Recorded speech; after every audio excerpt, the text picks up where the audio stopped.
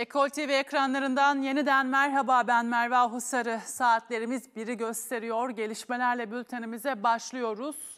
İstanbul Küçükçekmece'de 3 katlı bir bina çöktü ve enkazdan çıkarılan yaralılar Çam Sakura Şehir Hastanesi'ne götürüldü. Şimdi o noktaya bağlanıyoruz. Muhabir arkadaşımız Mahmut Keşan bize yaralıların son durumunu anlatacak. Mahmut. İstanbul Vali açıklama yapmıştı. 8 kişi çıkarılmıştı ve bir kişi hayatını kaybetmişti. O enkazda son durum bu yöndeydi ve yaralılar da çevredeki en yakın hastaneye gönderilmişti. 3 kişi şu an Başakşehir Çam ve Sakura Şehir Hastanesi'ne getirilmişti ve buradaki e, tedavi süreci de devam ediyor. Bir hastanın baş ve ayak kısmında yaralanma olduğunu, e, 6 aylık bir bebeğin de yine enkazda yaralandığını, onun da yine Başakşehir Çam ve Sakura Şehir Hastanesi'ne getirildiğini bir önceki bültende aktarmıştık. Bebeğin durumu ağır, hayati tehlikesi var. Acil bölümünde yapılan müdahalenin ardından yoğun bakıma alındı ve orada şu an e, doktorların müdahalesi devam ediyor. Ancak e, süreç çok kritik, hayati tehlikesi olduğunu söyleyelim sizlere. E, İstanbul Vali yine 7 kişinin e, çevredeki farklı hastaneye yönlendirildiğini belirtmişti. E, bir taraftan da soruşturma başlatıldı elbette. E, iki ağır yaralı hasta vardı ki o yaralı hastalardan biri de biraz önce belirttiğim gibi 6 aylık bebekti. Diğer yaralı ağır yaralı olan hastanın da yine hayati tehlikesi devam ediyor ve e, kritik süreç kritik dakikalar sürüyor.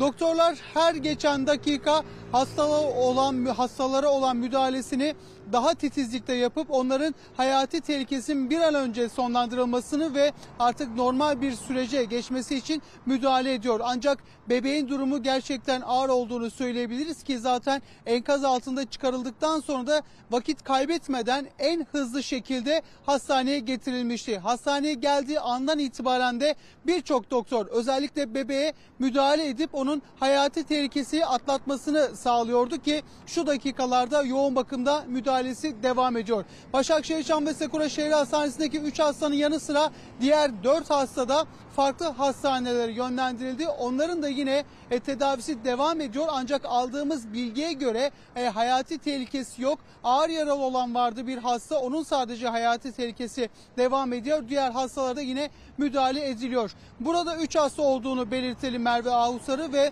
gelişmeleri de yakından takip ediyoruz. E, sıcak dakikalarda e, yine buradaki süreci de aktarmaya sürdüreceğiz.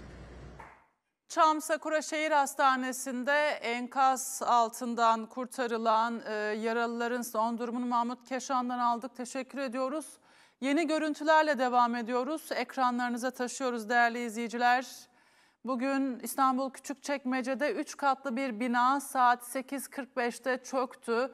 Çökme anına dair yeni görüntüler de elimize ulaştıkça ekranlarınıza taşıyoruz. İstanbul Valiliğinden yapılan açıklamada Küçükçekmece'de çöken binanın enkazında kalan son kişi de yaralı olarak kurtarılmıştır. Olayda bir kişi hayatını kaybetmiş, 8 kişi de yaralanmıştır. Enkazda an itibariyle kalan şahıs bulunmamakta olup arama kurtarma ekiplerinin enkazda dinleme çalışmaları devam etmektedir denildi.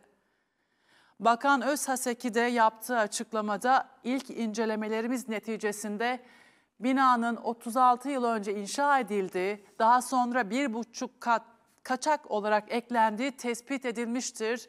Açıklamasında bulundu Bakan Özhaseki. Şimdi enkaz alanına çeviriyoruz kameralarımızı.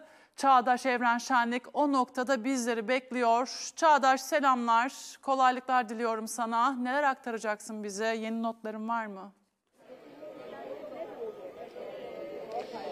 Son gelişme önümüzdeki dakikalarda İçişleri Bakanı Ali Yerlikaya'nın bu noktaya gelmesi bekleniyor. Enkazda inceleme yaptıktan sonra da bir basın açıklaması yapmasını bekliyoruz. Bunu yakından takip ediyor olacağız. Peki bulunduğumuz saat diliminde neler yaşanıyor? Onlardan bahsedelim. Öncelikle bu bölgede enkaz kaldırma çalışmalarına başlanacak. Bunu ifade edelim. Çünkü ağır tonajlı vinç ve bir adet de kamyon geldi buraya ve enkazdan dökülen e, e, ve etrafa e, yayılan parçalar teker teker artık kaldırılmaya başlanacak. Bunu da ifade etmiş olalım. Bir yandan da elbette hala dinleme çalışması yapılıyor. Sismik bir dinleme yapılıyor. Bunun yanı sıra yine K9 köpekleri enkazın her bir noktasında gezerek bu dinleme çalışmalarına destek veriyor. Kurtarma çalışmaları sonlandırılmıştı demiştik.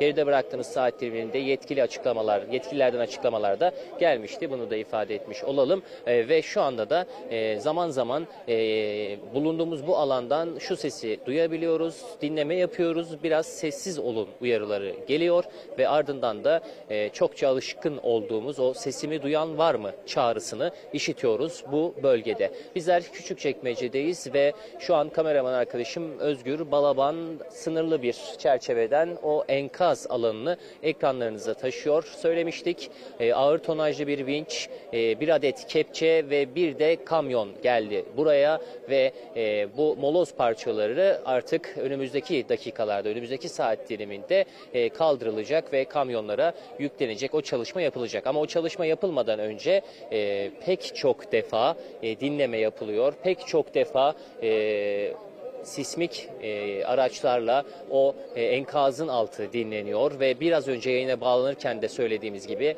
yine K9 köpekleri dahil olmak üzere e, ekiplerin hepsi enkazın dört bir noktasında dinleme çalışmasını sürdürüyor. İçişleri Bakanı Ali Yerlikaya'nın bu noktaya geldikten sonra olayla ilgili son bilgileri de aktarmasını bekliyoruz. Elbette merak edilenler var. O merak edilenlere de e, yanıt bulacağız diye düşünüyoruz ve bu noktada da elbette e, haber nöbetimizi sürdürüyoruz. Peki başka neler yaşandı? Gözlemlerimiz neler? Hemen ondan da bahsedelim. Öncelikle bulunduğumuz bu cadde işlek bir cadde ve normal bir günde ya da hafta içi olsaydı bugün e, daha farklı bir boyutu belki de konuşuyor olabilirdik. Çünkü e, sabah saatlerinde e, araçların sıklıkla geçtiği, otobüslerin, minibüslerin sıklıkla geçtiği ve mahallede yaşayanların e, sıklıkla alışveriş yaptığı, dükkanların olduğu, esnafın çokça olduğu bir bölge burası ve e, Küçükçekmece'nin en işlek noktalarından biri diyebiliriz ve aslında 1988 yapımı bir binadan bahsediliyor. Böyle ifade ediliyor ve e, bu binaya bir buçuk kat kaçak olarak eklendiği de yine tespit edilen noktalardan bir tanesi. Bunu da ifade edelim ve yapımında deniz kumu kullanıldığı ve daha sonraki süreçlerde binanın statiğini bozacak müdahalelerin yapıldığı tespit edildi ekipler tarafından. Bu da facianın farklı bir boyutu olarak da karşımıza çıkıyor. Bunu da bir kez daha vurgulayalım sizlerle paylaşmış olalım. Bakın kameraman arkadaşım Özgür Balaban şu an ekranlara taşıyor. Enkaz bölgesinde çalışmalar devam ediyor demiştik. O noktada sistemli bir çalışma var ve bu kapsamda da e, ilerleyen dakikalarda nasıl bir e, planlama yapılacak elbette bunu da yakından takip ediyor olacağız. Bunu da ifade etmiş olalım. Yaralılar var demiştik. Bu kapsamda onların da tedavisi devam ediyor.